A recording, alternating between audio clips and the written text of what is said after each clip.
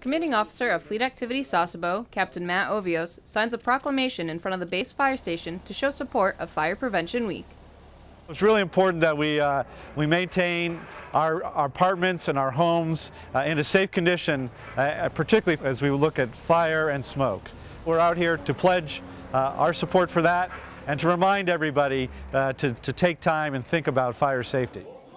To help spread the word to younger children, Commanding Officer of E.J. King's Navy Junior Reserve Officer Training Corps, Richard Rasai, shows support by leading. Fire safety is important because it can happen anywhere. Um, no matter where you are, your classroom, your house, it just can happen and it's a very dangerous hazard and it's just important to be safe from it. The fire department will hold more events to demonstrate fire prevention and safety. Petty Officer Christina Coffey, Fleet Activities, Sasebo, Japan.